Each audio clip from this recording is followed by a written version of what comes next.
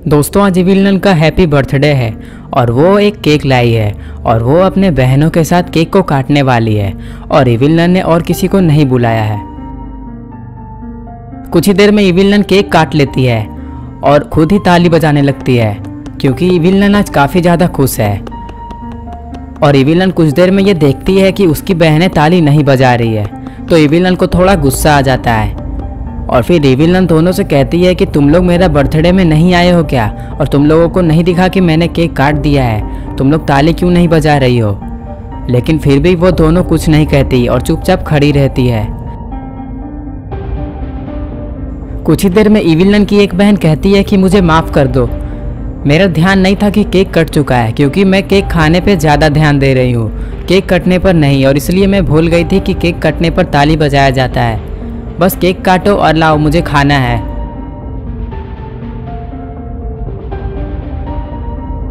ये बात सुनकर इविलियन को काफ़ी ज़्यादा गुस्सा आ जाता है और ये फिर दूसरी बहन की तरफ़ देखती है, लेकिन ये कुछ नहीं बोलती।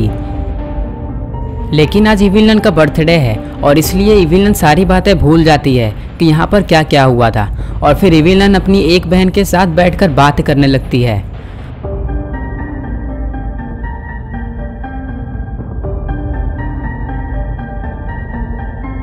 पता नहीं इविल नन उससे क्या क्या बात बोलने ही जा रही थी। लेकिन इविलन की एक दूसरी बहन, जो नाश्ता लाने के लिए गई हुई है, लेकिन वो अभी तक आई क्यों नहीं?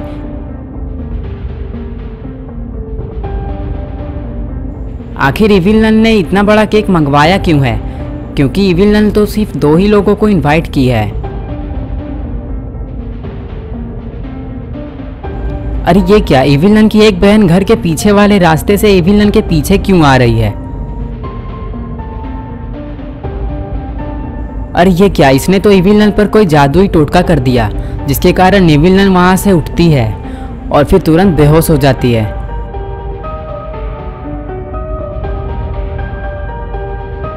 आखिर इविलन की बहन ने इविलन को क्यों मारा? कुछ ही देर में ये काफ़ी ज़्यादा हंसने लग जाती है और क्या इविलन की दूसरी बहन भी इसके साथ मिली हुई है? विलन की दूसरी बहन भी काफ़ी ज़्यादा खुश है। शायद ये भी इसके साथ मिली हुई है और इसने भी ये प्लान बनाया था कि इविलनल को मार दिया जाए, लेकिन तभी अचानक से किसी की तरफ़ इशारा करती है। शायद यहाँ पर कोई आ चुका है और ये लोग उसे देखकर काफ़ी ज़्यादा घबरा जाती है।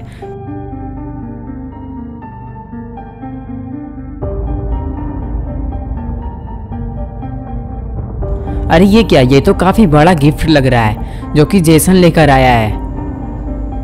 लेकिन जेसन इतना गुस्से में क्यों है? आखिर शायद जेसन ने ये देख ही लिया कि इविलन को उसकी बहन ने ही मार डाला, और अब जेसन उन लोगों को नहीं छोड़ने वाला। क्योंकि जेसन इविलन के बर्थडे पार्टी में आया था, लेकिन इविलन ने इसको इनवाइट नहीं किया था तो फिर ये कैसे आया?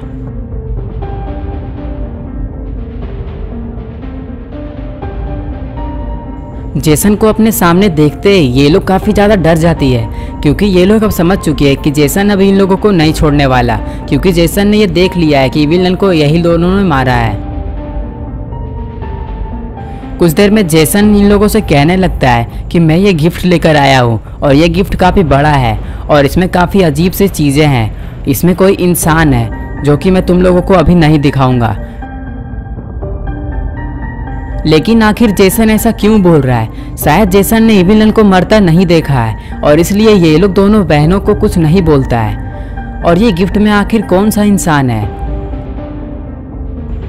इधर बुल्ली काफ़ी ज़्यादा परेशान है, क्योंकि उसे गुल्ली मिल ही नहीं रहा है। पता नहीं गुल्ली कहाँ चला गया है। गुल्ली शाम से ही कहीं चला गया है, और वो अभी तक नहीं मिला है। बुल्ली उसे घर के अंदर पूरा ढूंढ लेता है, लेकिन वो कहीं पर भी दिखाई नहीं देता है।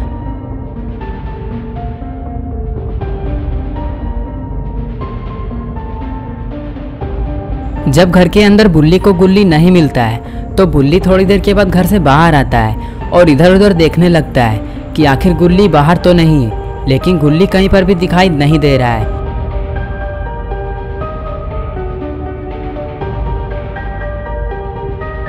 इस मामले में बुल्ली बाबा को भी नहीं बुला सकता, क्योंकि बाबा इस मामले में कुछ कर ही नहीं पाएँगे, क्योंकि बाबा तो सिर्फ़ लड़ाई झगड़ा और जादू ही जानते हैं। लेकिन इधर अरे ये क्या हो रहा है? जेसन ने गिफ्ट का डब्बा गाड़ी के ऊपर क्यों रख दिया? और शायद जेसन इन लोगों से मिला हुआ है। और जेसन ने ही इविलन को मरवाया है। लेकिन आखिर जेसन ने इविलन को क्यों मरवाया है?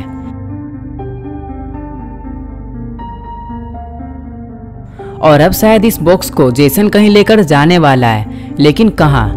और कुछ ही देर में वो इविलन की बहन हंसने लग जाती है। शायद इस गिफ्ट के अंदर कोई काफ़ी खतरनाक चीज़ है।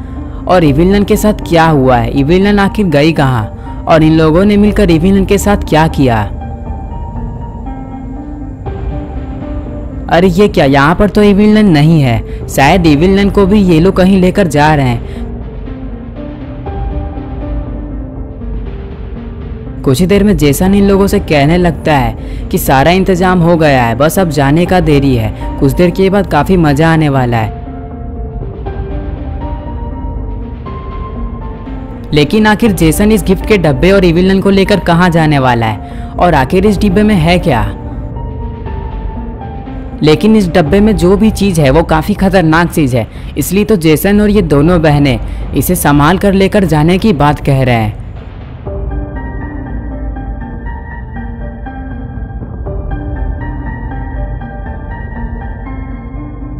इधर जो भी हो, लेकिन इधर बुल्ली को गुल्ली मिल ही नहीं रहा है, और अब बुल्ली काफ़ी ज़्यादा टेंशन में हो चुका है। आपको क्या लगता है, गुल्ली के साथ क्या हुआ होगा? गुल्ली अभी कहाँ गया होगा? और इस बॉक्स में आखिर है क्या? और इविलन को ये लोग लेकर कहाँ जा रहे हैं? और ये लोग मिलकर कोई बड़ी साजिश करने वाले हैं। ये सब हम देखेंगे पार्ट टू में। पार्ट टू देखने के लिए इस वीडियो को लाइक करें चैनल को सब्सक्राइब करें, और बेल आइकन को ऑल नोटिफिकेशन में ऑन करना ना भूलें।